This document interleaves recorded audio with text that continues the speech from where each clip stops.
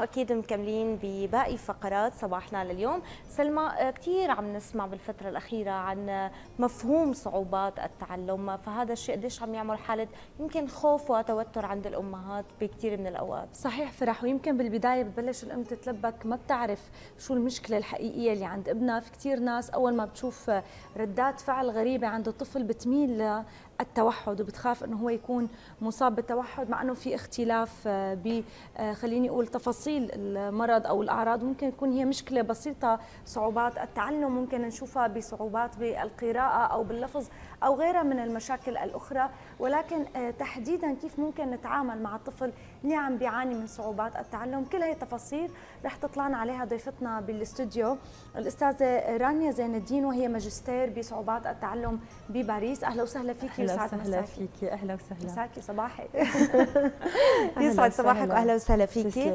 اليوم عم نسمع بالفترة الأخيرة بشكل كثير كبير عن صعوبات التعلم. خلينا نكون شوي دقيقين ونعرف هذا المفهوم شو بيعني وقد هي نسبة انتشار هذا الاضطراب؟ هلأ مفهوم صعوبات التعلم هو مفهوم كثير جديد يعني بالنسبة للمفاهيم يعني تقريبا طلع بال 1937 أول مرة استعمل مفهوم الـ dys الـ dys اللي هو عسر كلمة جاية من اليوناني تعني الصعوبه أو عسر وطبعا لها أنواع كثيره في عسر القراءة في عسر الكتابة في عسر العمليات الحسابية في عنا حتى عسر الكلام. طفل بيكون عنده مشكلة إنه يتأخر كثير بالكلام مع إنه مستوى الذكاء عنده عادي ومتوسط وفوق المتوسط. نعم.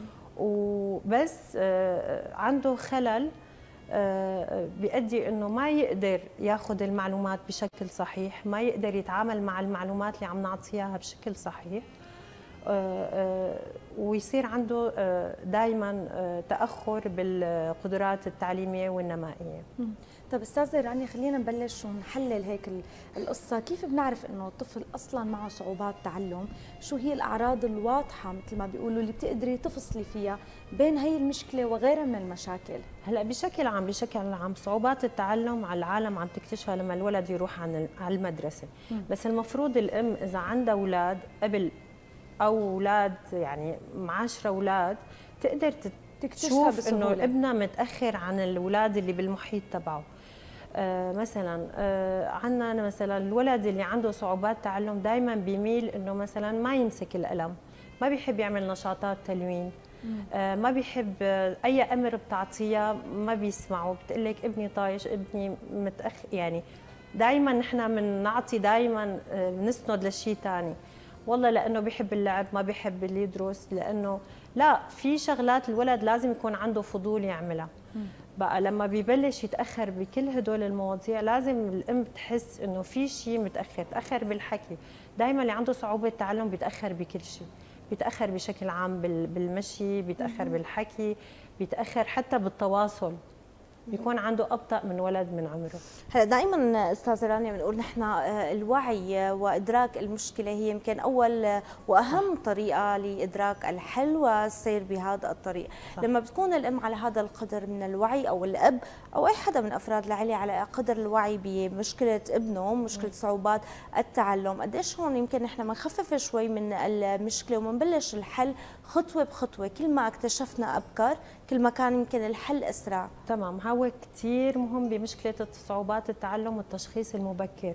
يعني كل ما كان التشخيص مبكر كل ما قدرنا نساعد الولد أكثر بقى الوعي مزبوط الام لازم هلأ صار الانترنت موجود وتقدر تبلش تدور إنه الولد بعمر هذا شو لازم يكون قدران يساوي. إذا متأخر دائما ناقص زائد ست أشهر. إذا تأخر عن الست أشهر معناتها بلش يصير عندنا مشكلة. هلأ المشكلة الثانية اللي أنا بعانيها شخصيا مع الأهالي هي الاعتراف بالمشكلة. يعني نحن عندنا مشكلة إنه أنا ابني ذكي بس دائما بتعطيه العذر. لما بتعطيه العذر انت ما تدوري عن الحل. بقى دائما لازم نقول أنا عندي مشكلة وبدي الاقي الحل وأنا ملزمة كأم إني التزم مع ابني بالحل. ودائما أنا بقول يعني بما إنه نحن ببلد يعني ما عندنا كثير إمكانيات وعندنا كثير البنية التحتية تبع صعوبات التعلم الأم كثير مفتاح مهم بحل المشكلة. وطبعا في عندك المؤسسة التعليمية عندك أخصائية التخاطب عندنا الدكتور النفسي التربوي اللي بيساعد كثير بهذا الموضوع. وهذا كله يعني هي حلقة كاملة بس الأم هي أهم حلقة بالقصة. طيب أستاذة رانيا خلينا نحكي. اليوم في كثير أنواع من صعوبات التعلم. آه، شو هي أنواعه؟ وقديش بتختلف شدتها؟ يمكن بنشوف في آه، مثل ما قلتي أماكن بيكون في نوع أكثر موجود فيها. طبعا البيئة بتلعب دور. هلأ آه، صعوبات التعلم في لها أنواع كثير قلت لك هي الديسلكسي اللي هي عسر الكتابة عسر القراءة عفوا. ودائما بتكون اللي عنده عسر قراءة عنده عسر الكتابة. دائما عادة مربوطين هدول الاثنين بالذات مرتبطين ببعض لأنه اللغة هي عبارة عن شفرة. يعني كل حرف هو شفرة. لما نحن بنجمع الحروف بتصير عنا كلمة. الحرف له مربوط بصوت. آه بيكون عنده الولد مشكلة بربط الشكل وبالصوت. يقدر يطلع الشكل والصوت سوا. بقى هي عندنا نوعين كثير مهمين. عندنا ال dysphasia اللي هي عسر الكلام وعندنا ال dyscalculie اللي هو عسر العمليات الحسابية وعندنا الديسبراكسيا هو عسر الحركة. في عندنا أولاد غير قادرين يعملوا حركات مترابطة. ما بيقدروا يلبسوا لحالهم ما بيقدروا يعملوا تمارين رياضية ما بيقدروا يعني هو هذا بحر. طبعا وفي شيء اسمه في درجة بتختلف عن درجة. يعني في عنا أولاد مصابين بعسر آه، آه، بصعوبة تعلم بس ما تكون آه، درجة قوية. يعني هي بتختلف بالشدة وبالدرجة من ولد لولد. مشان هيك نحن كثير بنأكد على وجود مدرب فردي. يعني لازم الولد على هوا حالته نشوف هو شو عنده قدرات. دائما الله وقت يحرم ولد من موهبة بيعطيه موهبة ثانية يعني هو مثلا اللي عنده ديسلكسيا اللي عنده عسر القراءة بيكون عنده ال... يعني السمع عنده ضعيف. مثلا بنعتمد أكثر على العكس بصري عنده ضعيف. بنعتمد نعتمد أكثر على السمعي نعم. مثلا الديسفيزيا بالعكس بنعتمد أكثر على البصري. بيصير هو الولد بيتعلم الحروف بعدين بيتعلم الحكي. يعني بتنعكس العملية حسب هي حالة الطفل. بقى كثير بتعتمد على حالة الطفل. ما فينا نعمم. كل ولد بحالته بيندرس بيتشخص بيشوف شو هي قدراته قد إيه نسبة ذكائه على شو بدنا نعتمد لحتى نبدأ العملية التعليمية. وأهم شيء أهم شيء نحن إذا بلشنا بكير ما نصل لحالة الفشل الدراسي. نقدر نخلي الولد بمدرسته. أكثر قدر ممكن إذا كانت طبعا الحالة مو شديدة ويكمل لحتى يصل لمستوى تعليمي مقبول. كثير من الأمهات آه، سترانيا بيسألوا آه، شو السبب؟ ليش هي صعوبات التعلم؟ هل هي وراثية؟ هل هي خلقية؟ ما هل هي نتيجة يمكن ضغط مجتمعي ما عدم رعاية؟ شو ممكن يكون السبب بصعوبات التعلم؟ وراثي 100% كل شيء بحوث جديدة أكدت إنه بتجي بالشباب أربع مرات أكثر من البنات. هي أكيد إذا صعوبة تعلم نحن ما عم نقص نحكي عن نقص الأكسجة بالولادة أنا عم بحكي كصعوبة تعلم. هي خلل عصبي بالدماغ. يعني أنا تخيلي عندي كمبيوتر جديد بياخذ العقل بس المعالج تبعه منزوع يعني المعالج اللي بياخذ المعلومات بينظمها بالكمبيوتر عندي في خلل بالمعالج. هذا نفس الشيء اللي هو صعوبة التعلم. نحن بنرجع بنعمل معالجة للمعلومات وبنقدمها للطفل جاهزة ونحاول نبني معه المعلومات خطوة بخطوة لحتى يقدر يكتسب المعلومة. نعم. طيب خلينا نحكي اليوم قلتي حضرتك أهم دور هو دور الأم. ودور الأسرة بشكل عام. المراحل اللي لازم تبلش فيها وقد إيه ممكن هي كمان بحاجة يمكن لبعض الدورات أو الإرشادات لحتى تقدر تتعامل مع طفل صعوبات التعلم؟ هلأ آه، الطريق كثير كثير طويل يعني آه، أهم شيء آه، إنه الولد لما يكون عنده صعوبة تعلم أهم شيء أنا حكيت لك يعني التشخيص المبكر دائما دور العائلة كلها كثير مهم. لأنه لما يكون عندك ولد في صعوبة تعلم بالبيت هي عبء كبير على كل العائلة على الأب والأم لأنه بيحسوا بالذنب وبالمسؤولية. إذا هن معترفين طبعا بالمشكلة إنه في عندهم مسؤولية وشعور بالمسؤولية إنه بده يقدموا لابنهم أحسن شيء لحتى يقدر يطلعوه من هالمشكلة. وكمان دور الإخوات كثير مهم لأنه الإخوات حيشوفوا إنه مثلا في اهتمام بهذا الأخ أكثر من البقايا بيصير شوية غيره بيصير عندنا مشكلة.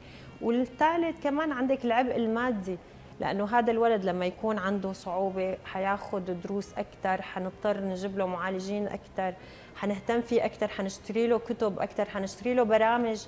لتساعده أكثر كل هذا عبء على العائله بصراحة. استرانيا أنت بتقولي إنه نحن آه، بمرحلة الخطر على الطفل ونوهتي يمكن لأهمية إنه نحن ما ندخل بالفشل الدراسي. هذا الشيء يمكن يلي أكيد ولا حدا بالعائله بيتمنى إنه يوصل له أكيد. أنت بتقولي نحن هلأ بمرحلة خطر وأنت بتقولي نحن ببداية المشكلة والحل أسهل وأسرع. خمس ست سنين هي بداية المشكلة. والحل لساتنا بإيدنا والولد لسه متجاوب مع المعلومة وحابب يتعلم حبه التعلم يعني مزروع بكل واحد فينا. كل ما بنتاخر إذا صرنا لسن المراهقة الولد صار عنده مشاكل ثانية صار عنده مشاكل المراهقة صار عنده الهرمون صار عنده فقد الأمل إنه هو يكون متميز. ما عاد عنده حب للتعلم فقد هالحب للمعلومات. أنا دائما بقول المراهقة هو أصعب شيء يعني إنه نبلش نحل المشكلة بسن المراهقة يعني صعب. متأخرين كثير بنكون. متأخرين إيه. هالست طيب. سنين كثير مهمين؟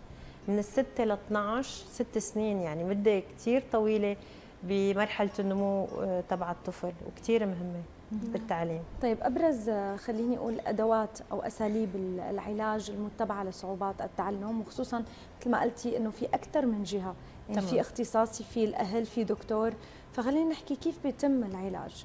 هلأ العلاج هو طويل. وعلى النفس الطويل. لازم نعرف إنه صعوبة التعلم هي إعاقة تدوم مدى الحياة يعني. هي مو شغلة عالجناها أخذ كم آه، آه، كورس تحفيزي كورس خلص لا هذا الولد بده يتعلم يتعايش مع المشكلة اللي عنده. بقى نحن بنعلمه إنه أول شيء يحصل على الأساسيات. إنه يكون قادر على القراءة يكون قادر على نحن كثير بناكد على الجهة النفسية للطفل لأنه نحن بهمنا الولد يكون آه، مرتاح نفسيته مرتاحة. في كثير عالم ناجحين بالحياة العملية وما عندهم قدرات دراسية يعني ما عندهم شهادات عالية وبالعكس في عالم عندهم شهادات عالية عالية مو ناجحين بالحياة العملية. بقى نحن كثير بنأكد إنه الولد أول شيء ياخذ الأساسيات ويكون شخصيته متفتحة آه، متغلب على مشكلته نفسيا ومعنويا. أنا عندي مشكلة بس قدران أتخطاها ويكمل حياته بشكل طبيعي. نعم. أكيد نتشكرك على كل المعلومات اللي قدمتي لنا اياها بنتمنى فعلا يكون في حالة الوعي عند كل الأمهات يلي يمكن هن الأقرب اليوم لأطفالهم وهن يمكن المرافقينهم بكل تفاصيل حياتهم الأقدر يمكن على ملاحظة هي التفاصيل فأكيد أكيد نتمنى يكون هذا الوعي عند الجميع. آه، حتى لو الأمور المادية شوي صعبة يكون في تعاون كثير كبير بين المدرسة بوجود الإنترنت وبوجود اليوتيوب أنا بظن يعني ما في حجة في كثير شغلات عم نقدر نلاقيها وتساعدنا. تمام. شكرا كثير لك شكرا, لك لوجودك معنا رانيا زين الدين وماجستير في صعوبات التعلم من باريس. شكرا لك الله يخليك. شكرا.